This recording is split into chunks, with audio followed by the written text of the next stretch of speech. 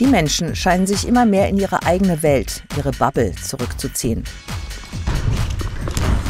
Und in den sozialen Medien verbreiten sich Fake News und Verschwörungsmythen.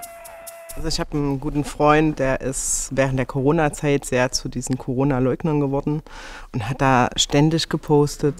Das ist, glaube ich, auch eines der größeren Probleme bei Bubbles, dass halt das, was laut ist, was rausgehauen wird, so, das kommt in die Ohren, das verbreitet sich weiter.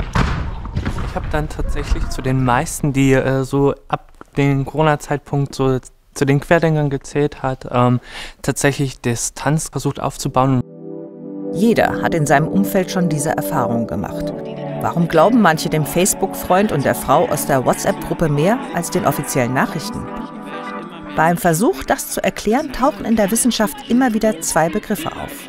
Digitale Echokammern und Filterblasen. So eine richtige wissenschaftliche Definition von Filterblase gibt es nicht so richtig. Das kommt ja von dem Internetaktivisten Eli Pariser, der diesen Begriff geprägt hat. Eine Filterblase hat er definiert als ein persönliches Informationsuniversum für jedes einzelne Individuum, was tatsächlich durch algorithmisch induziert zustande kommt, durch algorithmische Personalisierung. Ein Algorithmus filtert die angebotenen Inhalte auf Basis des eigenen Suchverhaltens. Eigentlich ist das eine feine Sache und hilft das World Wide Web zu durchforsten. Aber der Algorithmus verengt auch die angebotenen Inhalte. Dadurch, dass eben der Algorithmus ja auch nicht unterscheiden kann, ist das meine Meinung, vertrete ich das oder will ich mich einfach weiterbilden und will ich mich äh, informieren und versuche vielleicht auch irgendwie zu einem Thema gegen zu recherchieren und mir eine umfassende Meinung zu bilden, ähm, glaube ich, dass man dann vor allem in so eine Filterblase gerät. Auf der einen Seite ist das Internet halt so groß, dass man, glaube ich, eine Orientierungshilfe braucht. Ähm, jetzt beim Einkauf zum Beispiel finde ich, das, find ich das in Ordnung. Ähm, Wenn es allerdings um politische Themen, um ernste Themen geht, dann äh, ist natürlich durch so eine Bubble äh, das Denken relativ eingeschränkt. Türe schließt. Die digitalen Echokammern dagegen sind Gemeinschaften, die wir uns selber aussuchen.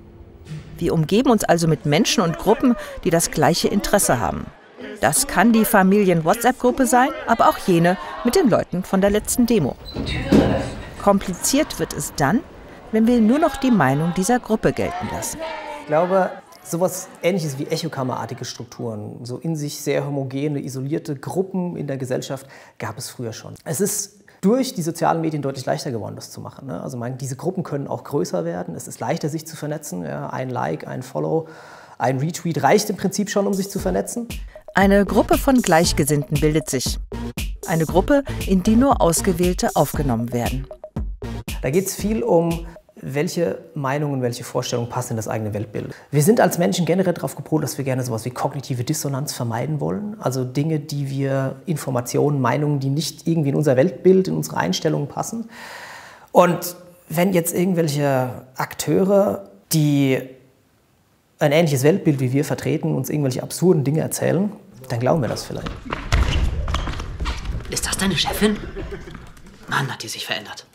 Das war vor zehn Jahren, da war sie nur euroskeptisch. Uff, was ist passiert? Zuerst hat sie komische Webseiten aufgerufen und die Artikel von Boris Johnson gelesen. Die EU würde Kondomgrößen regulieren und eine Bananenpolizei einführen. Ah.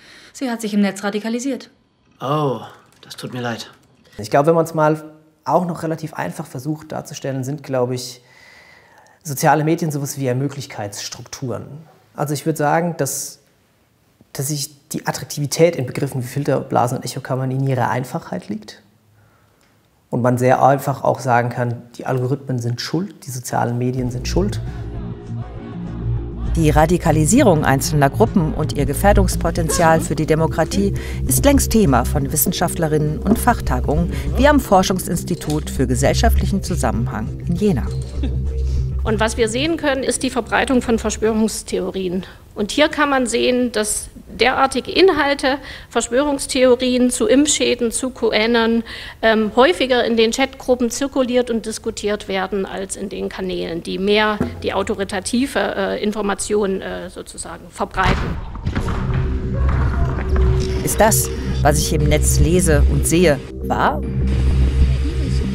oder fake?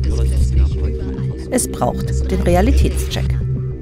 Ich bin so ein Mensch, der guckt erstmal ein bisschen kritisch drauf und ich versuche da meinen eigenen Verstand zu bedienen, einfach um nachzuhaken und dann forsche ich nach, passt das, stimmt das, passen die Bilder überhaupt zu der Nachricht? Ich glaube, das Wichtigste ist sich Zeit lassen, weil zuerst sind immer die radikalen Meinungen vorhanden und dann dauert das eine Weile, bis sich alle Bubbles quasi mal lange genug berührt haben, dass man mal wirklich drüber geredet hat. Raus aus der eigenen Blase. Entscheidend dabei der bewusste Umgang mit digitalen Medien und ihren Fallstricken. Der entscheidende Filter, das kann man glaube ich tatsächlich schon beobachten, in den letzten Jahren ist eher so der Filter im Kopf.